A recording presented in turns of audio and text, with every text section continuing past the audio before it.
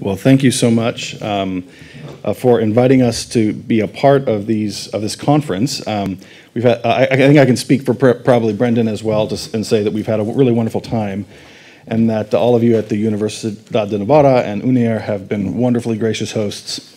Yeah, you've made it very hard to leave, and us all both very eager, I think, to return. Um, in the interest of keeping things moving, I'm going to try to keep my talk relatively brief, so we have uh, time to uh, discuss because I've, I've learned a lot from all of you, and I hope we can continue. Um, and uh, although I have to say the earlier the earlier uh, lectures have caused me a lot of problems because they've given me so many ideas that I've been trying to revise my comments uh, in the in the notes. Um, hopefully, it won't it won't be too disjointed. Um, do I have a?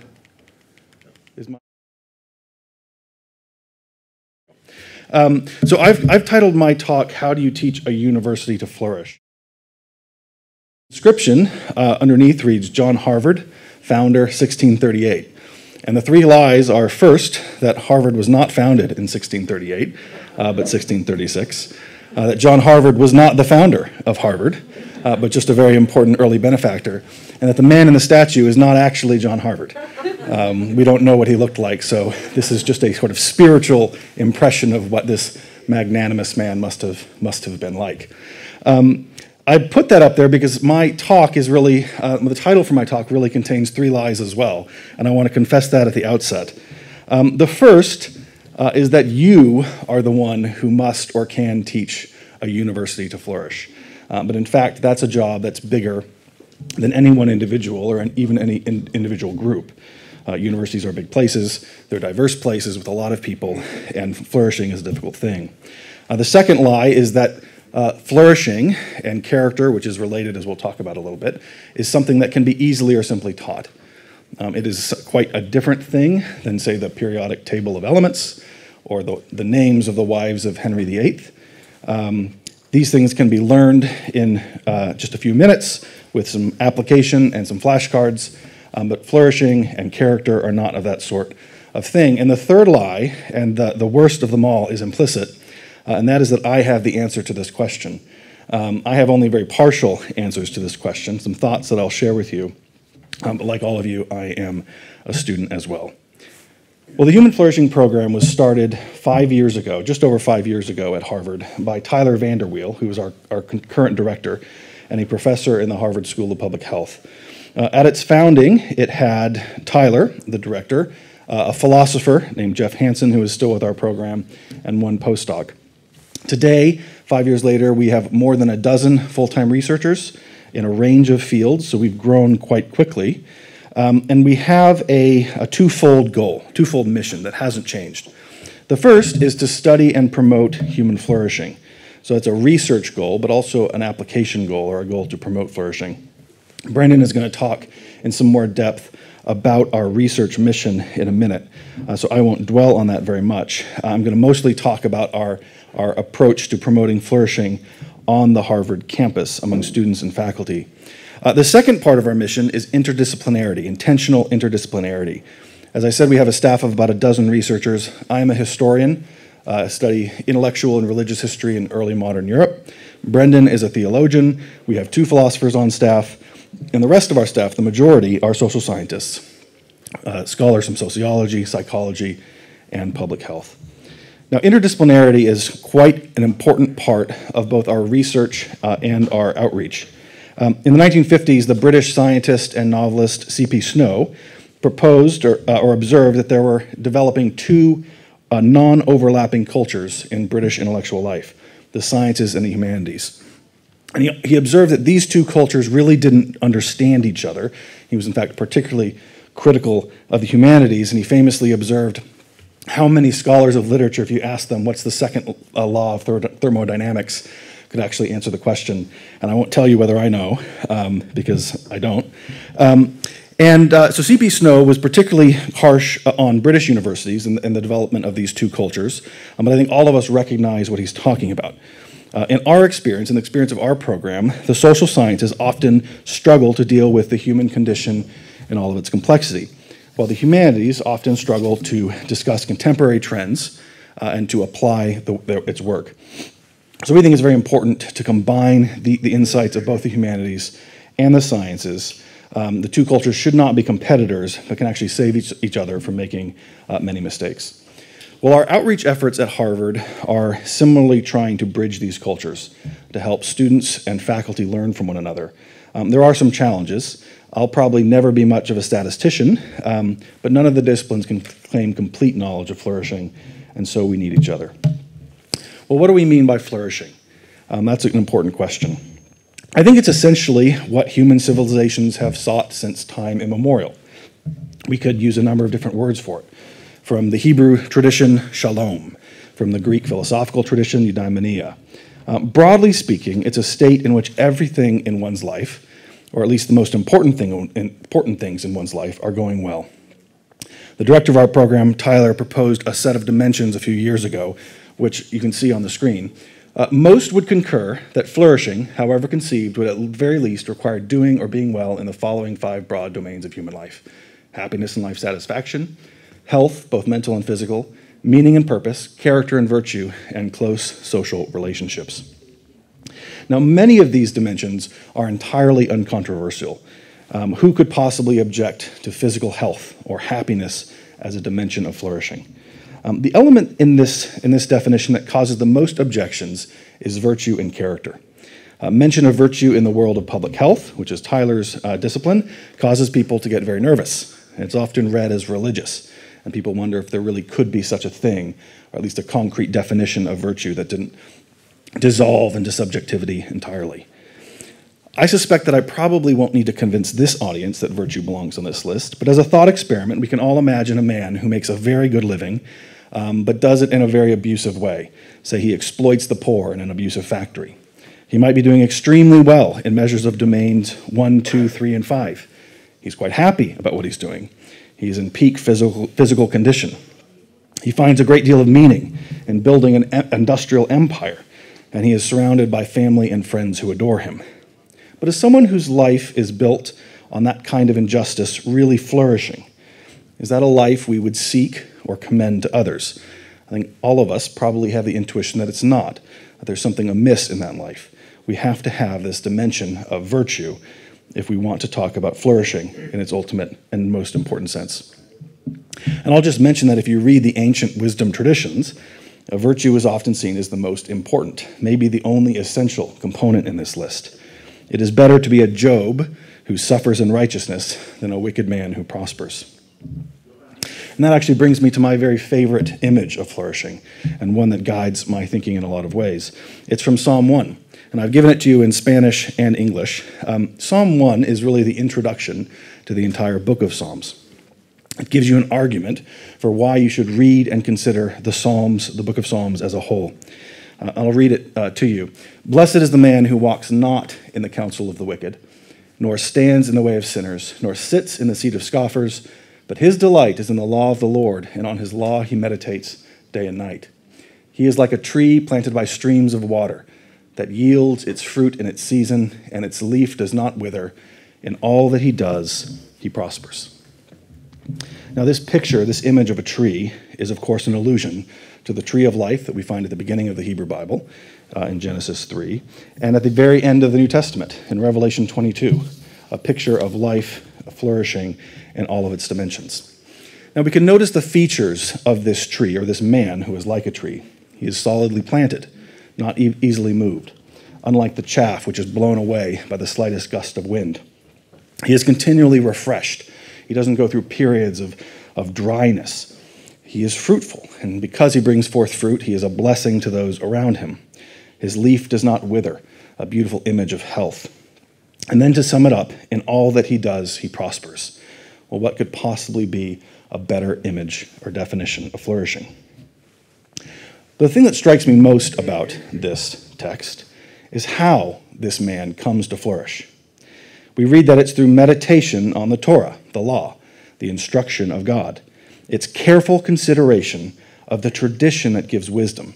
It's that meditation which allows the man to find lasting life and to give that life to others. But it's not that the man only studies the law. He doesn't even only meditate on the law. He applies himself to it. He meditates on it. and crucially, he delights in it. It is the love of wisdom that we find commended so often in the Hebrew Bible and in other wisdom traditions. And it is the love of wisdom, in the love of wisdom, that we find virtue. Now, I am a historian by training, and I occupy several roles at the Human Flourishing Program. And one of the most important is I oversee and run our outreach to the Harvard community. That includes students, particularly undergraduates, um, but also faculty, as we have opportunity. Um, and this is an area that our program has begun investing in much more intensively uh, over the last year or two. Um, so we are a little bit different than some of the other programs that have been talked about in that we are part of Harvard, Harvard's Faculty of Arts and Sciences, but we are not embedded in an academic department. So we are not primarily curricular in how we, in, in, in how we contribute to the Harvard community. We do have uh, researchers who teach courses, for credit courses within academic departments, um, but sometimes um, we have to convince those departments to partner with us. Um, so we have to think a lot about the different kinds of programming that we do and how those different kinds of programming uh, contribute to the mission. We're also working always to find faculty who are committed to this vision, or at least to a part of this vision, and willing to be partners with us, um, which is sometimes harder uh, to do than you might think. Uh, Harvard has a number of, uh, any, any number of brilliant and accomplished faculty, um, but they tend to be very busy and often building empires of their own, uh, and so don't always have time to contribute uh, to those of others. Uh, this is a rough goal for our kind of campus engagement. The Human Flourishing Program seeks to help members of the Harvard community engage with the best of human tradition in order to learn to live lives characterized by virtue, meaning, and truth. You can see the echoes of Psalm 1 uh, in this statement. Now, we are not a sectarian program. Um, so, Psalm 1, we should note, does not just urge people to consider tradition in, in its most general form, but a very specific tradition. Um, we have researchers and staff in our program of a variety of backgrounds, religious and political convictions. Some of them I know, uh, some of them I know about. Some of them I'm not even sure what people believe. Um, but part of this engaging with tradition does require us to think very deeply about religion, and that's one of I think the most important ways we contribute to the intellectual community at Harvard. It is in religious texts that human beings have done some of their most profound reflection on flourishing. Um, we also want to engage with philosophical and literary and scientific traditions. Um, so this includes very ancient traditions, like some like we've already discussed, but also very modern ones. A great deal of recent social science, for example, uh, which is some of the uh, some of the chief outputs of our program. So hopefully that sounds good, but there are challenges and problems as, we, as we've already talked about. Um, one of the challenges, um, some of the challenges I suspect are similar to those that you face at your institutions. Um, Harvard is a place of extraordinary resources, intellectual and otherwise. The students are almost embarrassingly brilliant. Um, the libraries are among the largest in the world. The faculty is world renowned. Um, but the culture is not always one that promotes the kind of seeking after wisdom, the kind of flourishing that we've been discussing.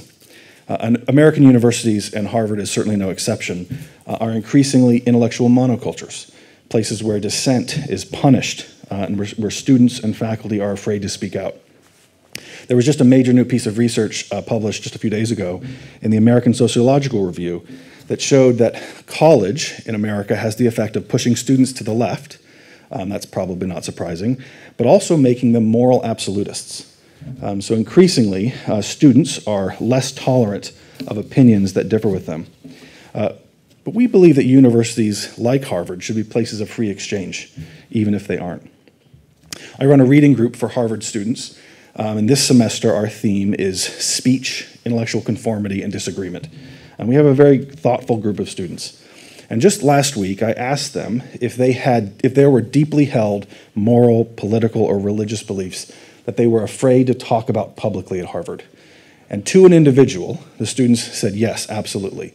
There were ideas that they were afraid to give voice to in the, within the Harvard community. And it wasn't primarily the, the sanction uh, or censor of, censorship of professors that they worried about, it was their peers. And they were worried that they would face social ostracism uh, or other kinds of kind of social, social punishment uh, if they crossed a line. This is something they're very, uh, very concerned about uh, and, and, quite, quite worried about. Um, this is perhaps a familiar problem to those of us who care about intellectual culture on campus. Um, but I think just as important is the sort of careerism of many students and faculty. Um, every student wants to get a job after graduation, and I think those of us who are educators want to help them do that, kind of set them on their way in life. Um, but there is a danger um, that students are so focused on, on vocational goals that they don't ever take time to stop and reflect about what an education is even for in the first place. Multiple times, again and again, I've talked to students who've told me uh, some version of the se- sentence What I really love is history, but I'm study, studying economics. What I really love is philosophy, but I'm, I'm studying computer science. Um, and Harvard actually makes it difficult to do both, um, so they often have to choose. Now, I don't think there's anything wrong with studying economics or, or computer science. I think those are intellectually fulfilling and important disciplines. Um, but students at Harvard often feel a very intense pressure to get a return on their investment. Um, they don't start preparing for Harvard towards the end of high school. They often start pre- preparing for Harvard in primary school. Um, it's a many years trek that takes incredible discipline and investment. And so once they get there, um, they are they're quite concerned about being knocked off track. Um, I, I, uh, since I've been at Harvard for a little over a year, and I, I found uh, kind of, uh, uh, somewhat to my surprise, that when I want to meet up with a Harvard student, um, I'm often given very narrow windows in their schedule. They'll tell me I have 3:20 to 3:45 on Thursday. I'll send you a Google Calendar invite. Um, and I'm like, I think I'm pretty busy, but these students are so overscheduled. Um, it's, a, it's extraordinary. And so I've taken as part of my mission to kind of get them to stop and pause and reflect and actually think about what it is that they're doing. Um, there are excellent reasons to work hard in, in, in, your, in, your, in your courses, um, to pursue a demanding career, but if the practical comes at the expense of wisdom, I think all of us would agree that something has gone wrong. Um, I think I yeah. Related to this is actually a, a, more, even more troubling crisis, and that students at Harvard are struggling profoundly with mental health. Uh, you would think that Harvard, of all places, would be a place where students should flourish. The students are young and typically in good health. They have incredibly bright futures. They are the ma- future masters of the universe, and they know it. Um, they are off, they're typically brilliant and talented.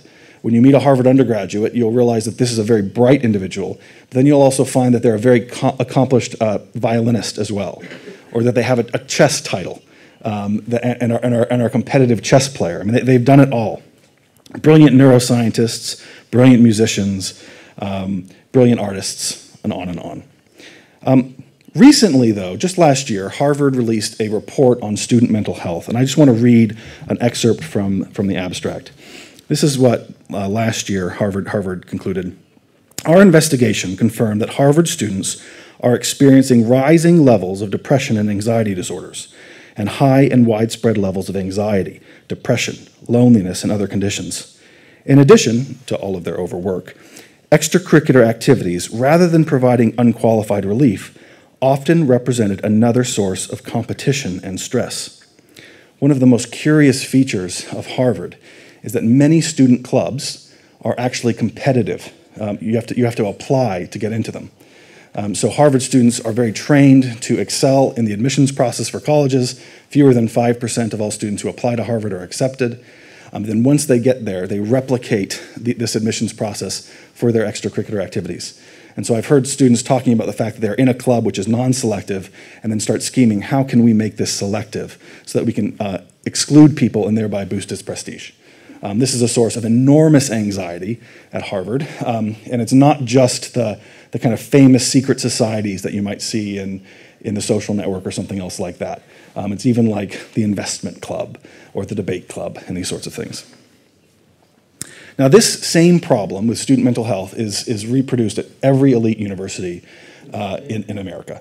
Uh, the the uh, campus counseling and psychological services um, departments at these, at these universities cannot hire counselors fast enough. They add counselors every year and they can never keep up with demand. Um, now, there are lots of reasons for this, but one of them surely is that we haven't taught students to think about what an education is for. We haven't given them a sense of how they should develop as human beings. We haven't introduced them to the pursuit of wisdom. This isn't a crisis that can be solely reduced to brain chemistry. More and more students feel deeply anxious about their future and about their place in their own community. They don't know why they are studying what they're studying, other than they have to work very hard at it, and they aren't sure who can help them find meaning and purpose. Well, if that isn't enough, we can go to a second problem, and that is the weakness of our tools. Uh, the weakness of our tools. I am a historian um, by training, uh, intellectual and religious history primarily. I also love literature, and there's another version of my life in which I am a, a probably a failed novelist. Um, I wish very much that reading great books consistently uh, and directly led to growth in character and flourishing. Um, but the sad fact of history is that the great villains and heroes often read the same books. Um, and in fact, the, many of the philosophers and poets who wrote our favorite books were not role models, shall we say. When I travel internationally, I often like to take a book, a, a, novel to read that has some bearing on it. So I once read, I first read Dostoevsky's Brothers Karamazov on the Trans Siberian Railroad, uh, which I highly recommend. Um, for this trip, I, I brought some Hemingway, who is, of course, not only a great American novelist, but a great lover of Spain, or at least a certain version of Spain with bullfights and that sort of thing. Um, he was not someone that you would hold up as a model of, say, marital fidelity or moderation. Um, a great writer who we can learn from, but not perhaps a moral exemplar. So, if that's true, and I think it clearly is, what is the use of reading books, these books? Well, this brings me to the Stoic philosopher Seneca. Uh, in his uh, apologizing for the length of this quotation, this is from uh, one of Seneca's moral letters. Uh, Seneca, the great Stoic philosopher, um, and this is his, from his letter 88. This is what he said in directly answering this question Does the studying of the liberal arts promote virtue? Some thinkers have judged that we should ask whether liberal arts make a man good, but they, the liberal arts, don't even promise this and lay claim to this knowledge. Grammar is preoccupied with care for speech, and if it wants to spread further about histories and to extend its boundaries to the limit about poetry, which of these lays a path towards virtue? So, do liberal studies bring us no advantage? Much for other purposes, but nothing for virtue. That's troubling. For even those openly worthless arts worked by hand contribute a lot to the tools of life, but are, are relevant to virtue. So, why do we train our sons in liberal arts? Not because these arts can bestow virtue, but because they prepare the mind to accept virtue. Just as that first lettering, as the men of old called it, by which the alphabet was passed on to boys, does not teach the liberal arts, but prepares a place for taking them in presently, so the liberal arts do not lead the mind up to virtue, but get it ready. What Seneca is saying is that the liberal arts, the study of great books, are a kind of ABC. Uh, they, are, they are giving us a moral vocabulary that allows us to reason ethically, to reflect upon our lives and our, on our, on our history.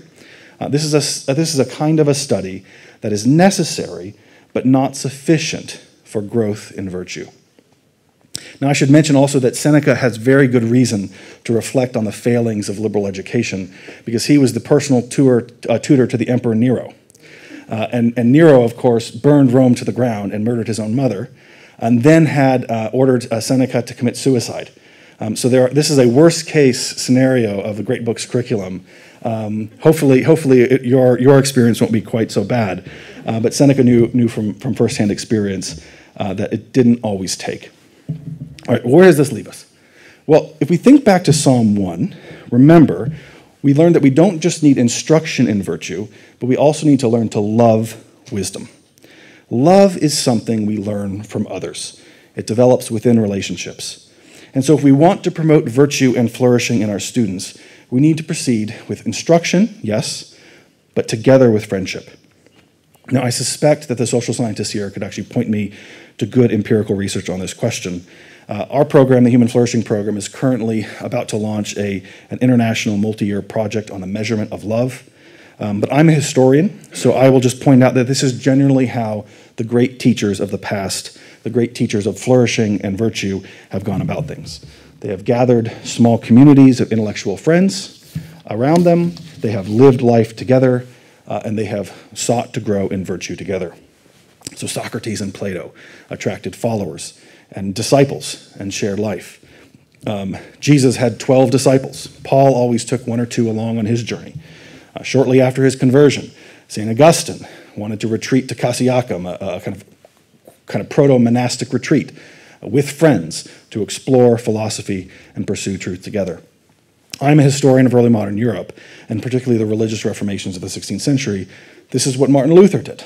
Uh, Martin Luther gathered students who not only learned from his lectures, but actually lived in his home and ate at his table. Um, Ignatius of Loyola assembled a small band of followers, which would eventually become the Jesuit order. John Wesley, the founder of the Methodist order, led the Holy Club at Oxford. And we could go on and on and multiply examples, um, but I think you get the point. Now, neither instruction nor friendship are sufficient alone. Uh, friendship creates conditions of trust, the possibility for correction and for modeling personal growth, and it also inflames the heart um, towards virtue, at least it can, whereas instruction provides the principles and the goals. Now, I should also note here that this is not solely a task for the university, or maybe even not primarily a task for the university. Every human institution that shapes us, our families, our neighborhoods, religious institutions, employers, even sports teams, are engaged in this work in some way. Well, what I've described to you is more or less the philosophy of student engagement at the Human Flourishing Program. We want to engage with students in both of these ways. So we have given quite a bit of thought to our different activities and how they fit into this mission. And this is a partial list of some of the work that we do, some of the different kinds of activities and programming that we've introduced at Harvard. Uh, you can see the, the, the, the, the list in the middle our research, our public events, things like lectures, our for credit courses, our small group discussions, reading groups, and then kind of one on one mentorship. They're arranged in a very particular order. The activities at the top have the greatest reach, or at least the greatest potential reach, especially now with the internet. There is, in principle, um, no kind of real boundary to how far a, a research um, paper or even a, a popular publication uh, can reach. We, our, our program has recently featured kind of unexpectedly but wonderfully in the New York Times, and that has a potential reach of millions. Um, and so it can, it can go quite far. Um, but few people have their characters most profoundly shaped by an encounter with an article in the New York Times. Uh, and maybe some. Um, but, but that's not how most people, most people work. The activities at the bottom uh, have a much narrower reach, but potentially much greater individual impact. And if you think back on your own life and you ask, well, what are those things or events that have most shaped you, you probably think about individuals who've been very important in your life. Um, or maybe groups or, of friends or relationships. So your parents, a teacher who became more than a teacher, became a friend, maybe a member of the clergy. So this little image shows trade offs. But it also allows us to think about how these different factors fit together in a larger strategy to promote flourishing at a university like Harvard. We don't try to pick a place. Um, of course, we, are, we have a limited staff. Um, I, I, I, do most of this work myself with some great help from other people in our program and some allies on campus. Um, but even then, we can't do it all. But we try to do all of these things more or less simultaneously. Um, and we've been more successful at some than others. Our research output has been very strong, especially in the social sciences, uh, social sciences uh, for kind of the entirety of our program's existence. Um, in, in, the relatively short time we've been doing this, uh, the student, particularly more intensive student work, we've seen a growing number of students in reading groups and meeting with, with uh, researchers or with me for, for mentorship of various kinds. Uh, for credit courses have actually been one of the trickier things for us to offer, simply because we're not based in an, in, a, um, in an academic department. I think this calendar year we'll have three courses taught by researchers at our program. We hope to grow that over time. Uh, but very broadly speaking, we want to engage as many people as Har at Harvard as we can, uh, starting with the top, and then move those who are interested uh, down the ladder uh, to more intensive investment at the bottom in reading groups or in mentorship. Um, it's, it's completely fine. We recognize that not every faculty member or student at Harvard will engage with our program uh, very, very directly or intensively, um, but some will, and some will want to go further. So I'll give you an example. You can imagine a student, Joe Harvard, who uh, comes to a public event. So we recently had a public lecture. We had a philosopher named Agnes Callard from the University of Chicago come. She was really wonderful and talk about Aristotle's approach to disagreement. Um, it was quite quite academic, but quite good, uh, quite quite good lecture. Uh, Brendan uh, recently organized a really interesting conference on the future of work, with a, from a range of perspectives, which you can actually find on our on our program web uh, YouTube site if you're interested in it. Um, so imagine that Joe Harvard comes to one of these sorts of events. Now Joe's friends come with him, and they're happy to get along with their life and do other things, but Joe wants to learn more. So he joins the reading group I run, which is currently discussing classic texts on speech, disagreement, and intellectual diversity. Uh, so we, we, uh, We started with John Stuart Mill, a short excerpt from his On Liberty. Um, we're going to read, um, you know, a, kind of a critic from the left, Herbert Marcuse. Uh, we are going to read um, Václav Havel on, on intellectual conformity and courage, uh, kind of a range of texts. Over time, Joe and I become friends, and he decides that I'm someone he can trust to help him investigate questions that are, are preoccupying him. And so we start to meet regularly for coffee, and we read a book together. Um, I'm, uh, I like coffee, but I, I would prefer to drink three to four cups of coffee a week, maybe at most but I find myself sitting in coffee shops a lot and consuming more caffeine than is probably good for me um, because this is where I'm able to meet students uh, at, the, at, the, moment. So this is more or less the structure um, of our program, and I'm happy to talk about any of the details of this more, uh, maybe in the Q&A and after. But I want to conclude with just a couple of key lessons. Um, and the first um, is, is, is, I think, an important one, um, and is that we should, we should be recognize the limitations of efficiency. And I put this as a negative because I think we all recognize the value of scale instinctively. Of course, it seems better to reach a million people than to reach 10 people. And that, often is the case. But we need to recognize that efficiency can be a danger and a temptation as well. Um, I've had some really excellent conversations over the last couple of days with leaders from UNIR uh, and, and, just some of the amazing things they're able to do with the internet to reach the globe and scale very, very quickly. That has immense value in teaching. It's harder for the actual encouragement of, of a love of virtue, uh, for the formation of, of friendships. Uh, there are some things that are more difficult to scale than others. Uh, you cannot parent efficiently. Um, you're just going to have to not sleep sometimes. That, sometime that's how it works. Um, children need intensive love and care. Uh, you cannot love your spouse efficiently. Um, I sometimes buy my wife flowers on special events, and it would save me a lot of money if I bought them wholesale and gave them all to her at once and said, This is for, for birthdays and anniversaries for the rest of our lives. Um, so just know that it happened and it, and it won't happen again. Um, I suspect that that would not have the same meaning uh, that going to the, to, the, to the flower shop and picking up flowers regularly uh, would do. Character is largely formed in relationships, not exclusively. Um, we can also encounter ideas in books and elsewhere. But relationships are important. So, as we think about how to promote flourishing and character, we need to think very, very carefully about what things we can scale and what things we can't scale. And we need to think about how we take the scalable things and translate them uh, into opportunities that are more uh, immediate and, hu- and, human and direct uh, and, and, and smaller. Because character is formed in community, uh, we have to uh, try to welcome people into communities. Not every student in Harvard wants to engage with our program. In fact, most probably never will. But for those who do, we want to create a community of people who are trained to use this vocabulary of virtue uh, and flourishing, and who are similarly committed to growth uh, and, and, to pursuing virtue and wisdom and flourishing. Uh, there is just a limit to what any of us, even if we are very engaged uh, mentors, there's a limit to what any of us can do. Um, but if we can form communities that reinforce this pursuit, we can actually multiply our efforts.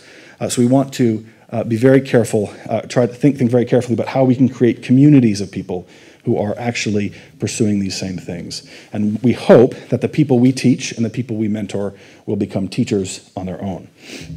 Uh, there's, a, there's a professor uh, at, at, Harvard, Arthur Brooks, that some of you may know, uh, who is, writes quite widely on happiness. And he teaches a course at the Harvard uh, Business School uh, on happiness that is so oversubscribed that I think there's three or four students who want to get in for everyone who can. And he told me what he's done is he takes everyone who didn't get in uh, and he says that you have to actually uh, um, join a group where you'll be taught this material by your peers.